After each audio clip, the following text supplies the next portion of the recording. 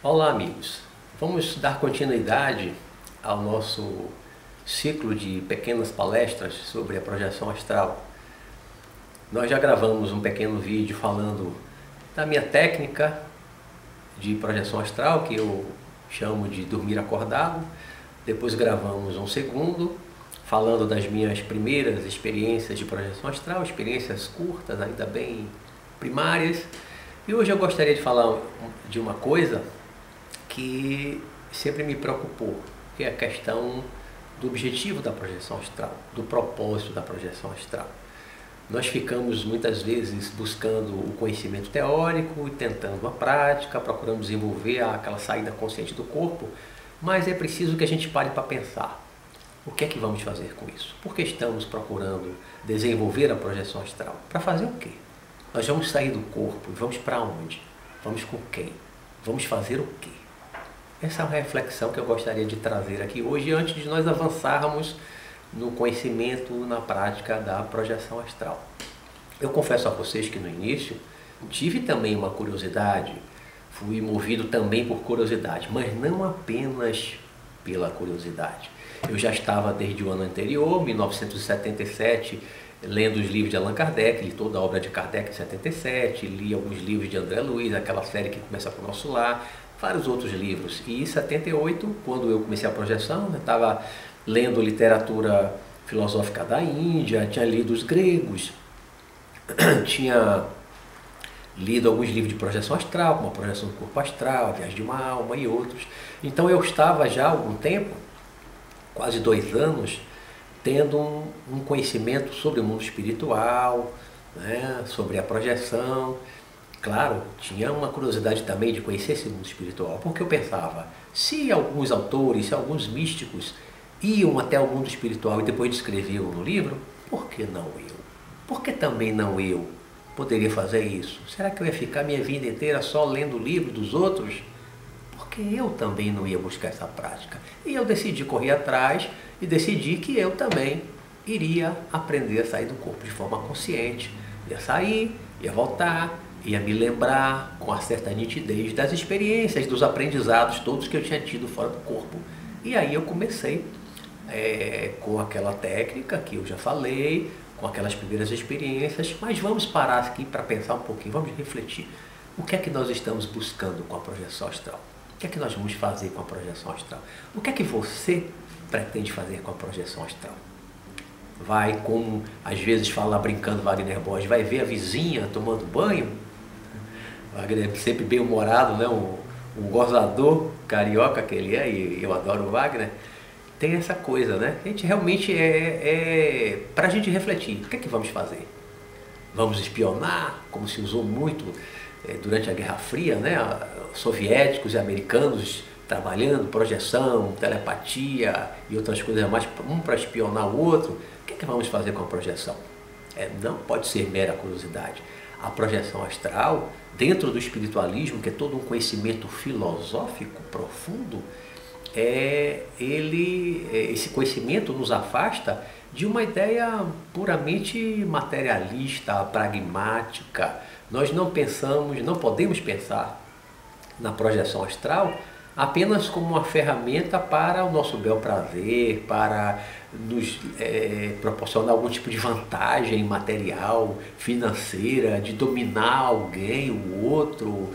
Não, nada disso a projeção astral dentro do espiritualismo, que é o nosso caminho de evolução, deve ser uma ferramenta, porque sim, é uma ferramenta, é um dom que pode ser desenvolvido, mas é uma ferramenta que pode nos proporcionar muita evolução, pode nos proporcionar muito crescimento espiritual, porque a projeção astral permite que nós entremos em contato com os nossos amigos espirituais, mentores, gurus, guias espirituais, anjos da guarda, seja qual for o nome que a gente dê de acordo com a nossa corrente filosófica, religiosa, espiritualista, não importa, né? um amparador, como chamam também na, na projeção, não importa.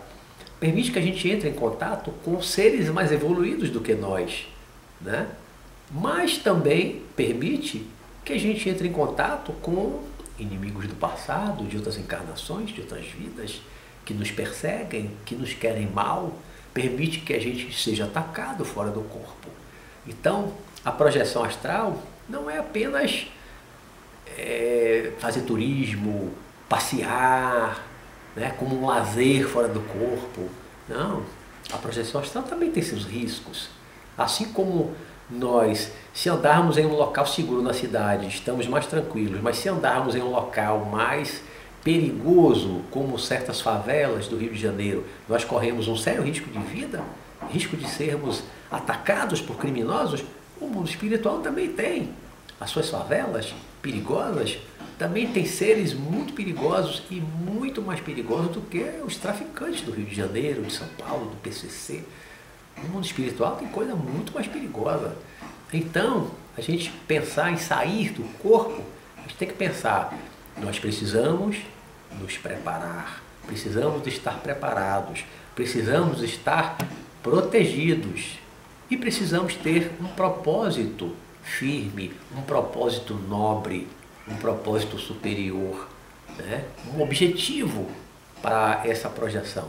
Eu logo logo que comecei a sair do corpo e comecei a entrar em contato com espíritos bons que estavam me acompanhando, os meus guias, os meus mentores, né? e logo logo surgiu o meu mestre Sanakan, que eu descrevo bastante nos três livros, na, na, na trilogia do Sanakan, o Mestre no Além, eu logo logo me senti protegido.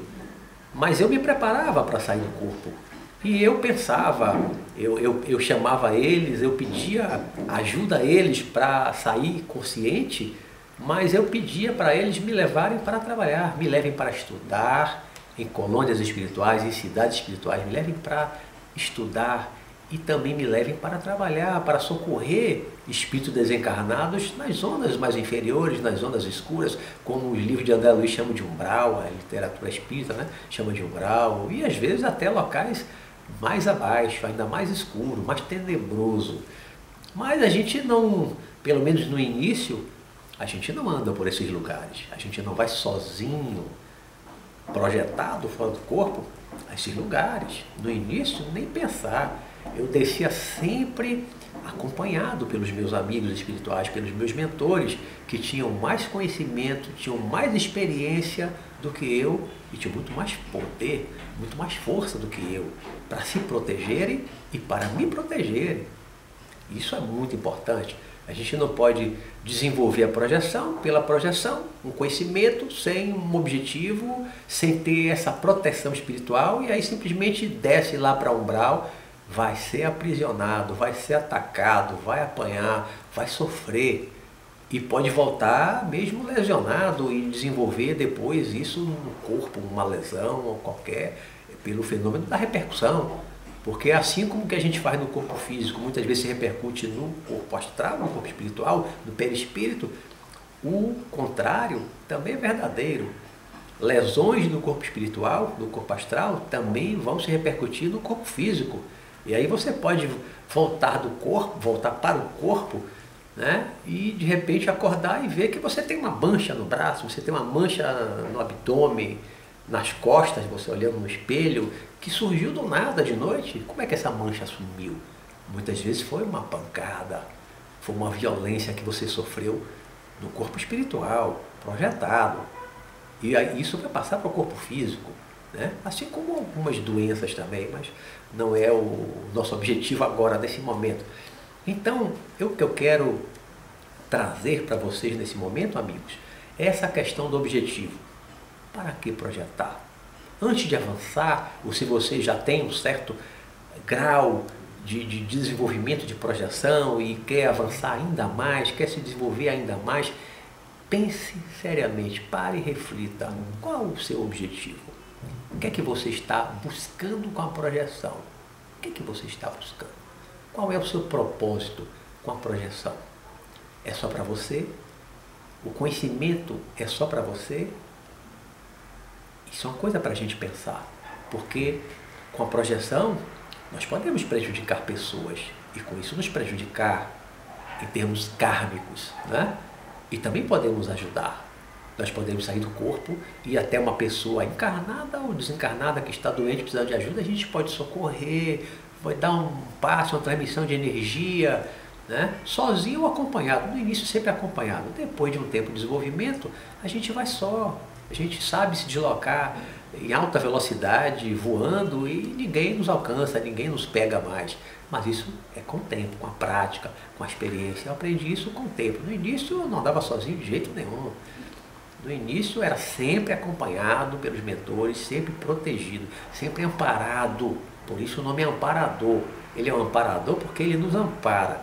E aí, um conselho que eu dou, nunca tente sair do corpo, no início pelo menos, sem antes chamar os seus mentores, sem antes chamar o seu protetor, seu guia, seu amparador, seu anjo da guarda, chame, faça uma oração, um mantra, a forma que você quiser, não importa, a forma não interessa, o que interessa é a essência, o conteúdo. Chame, invoque o seu amparador, o seu amigo espiritual, o seu protetor, para que ele venha até você, não só lhe auxilie a sair do corpo, mas que ele garanta a sua proteção quando você estiver fora do corpo. Isso é muito importante. E aí peça a ele que lhe leve para uma cidade espiritual, para uma biblioteca, para um museu, para uma escola, assistir aula, assistir palestra. Eu passei por tudo isso que eu assisti de palestra, de aula, fui a museu, fui à biblioteca e tantas coisas que eu descrevo nas minhas obras, né, o Sandakan, o Mestre no Além, em outros livros, como O Mundo Espiritual, de onde viemos e para onde vamos. E a gente vai aprendendo, mas nesse momento a reflexão que eu quero deixar para vocês é reflitam sobre o propósito da projeção astral. O que você quer fazer com a projeção astral e responda para você mesmo, intimamente, para você ter certeza de que, de que você sabe o que você está buscando com a projeção astral. Então, se você achar que é válido, que é nobre o seu propósito, avance, estude, leia, pratique, se dedique e você vai obter muito conhecimento, como eu obtive, vai ter experiências maravilhosas como eu tive e continuo tendo até hoje. Vale a pena. Agora, reflita. O objetivo tem que ser nobre. Senão, você não vai ter proteção dos seres superiores, dos seres de luz. Porque espírito de luz, espírito evoluído, não fica acompanhando gente que vai fazer bobagem fora do corpo. Então, reflexão, amigos. Pense que você vai fazer com a projeção astral? Qual é o seu propósito com a projeção astral?